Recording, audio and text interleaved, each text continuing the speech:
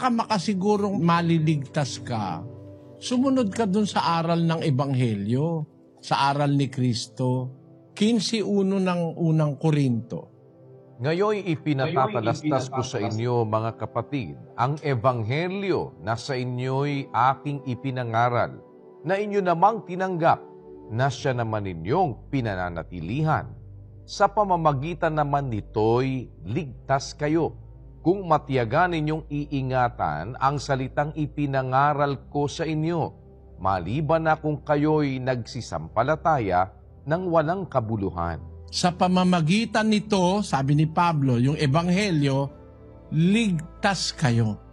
Para makatiyak ka, maliligtas ka, susunod ka sa aral ng ebanghelyo. Walang kinalaman yung milagro, walang kinalaman yung mga kung ano-anong arte ng mga relihiyon.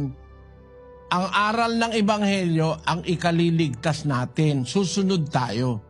Basahin natin ang 1.16 ng Roma sapagkat hindi ko ikinahihiya ang Ebanghelyo, sapagkat siyang kapangyarihan ng Diyos sa ikaliligtas ng bawat sumasampalataya, unay sa Hudyo at gayon din sa Griego.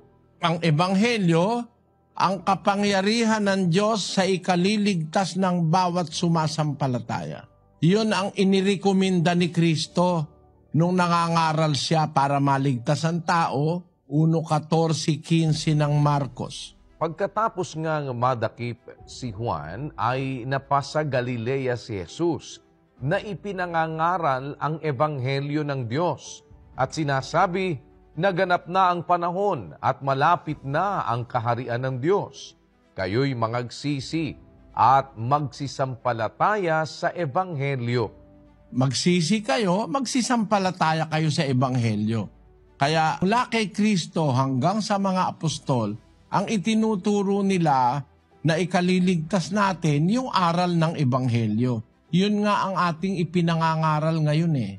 Yung aral ng Ebanghelyo. Yung isinulat ng mga apostol, itinuro ni Kristo, galing sa Ama, yun ang ikaliligtas natin, kapatid. Sa Biblia, ang aral ng Ebanghelyo, merong aral kung paano ka makikisama sa asawa. May aral kung paano ka magpapalaki ng anak. May aral kung paano kayo maghahanap buhay. May aral sa Ebanghelyo kung anong dapat kainin.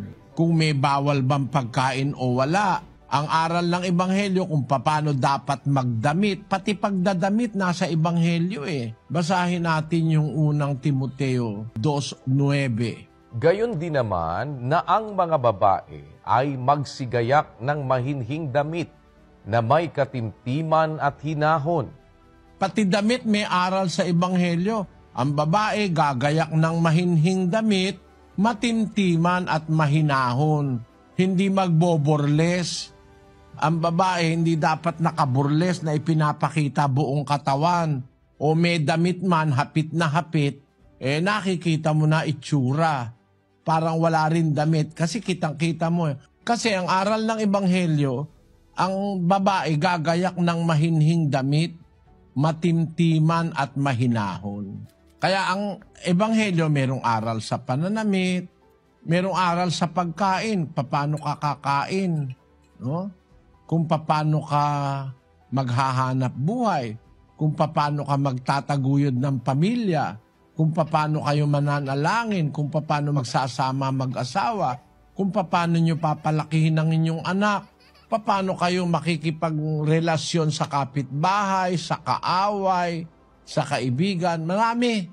Hindi ko lang maiisa-isa lahat kapatid, pero yan ang paraan para makatiyak kang maliligtas ka ang Diyos kasi hindi nagsisinungaling eh.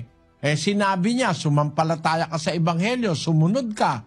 Eh sumunod ka, tiyak na tiyak yun, maliligtas ka. Kasi siya ang nagsabi na ang ikaliligtas yung aral ng Ebanghelyo. Hindi naman siya pwedeng magsinungaling.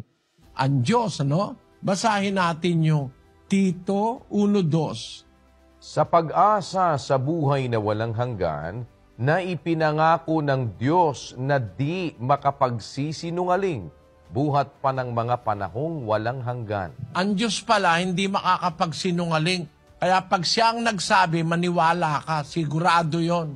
Ang assurance mo na sigurado, ang Diyos hindi nagsisinungaling.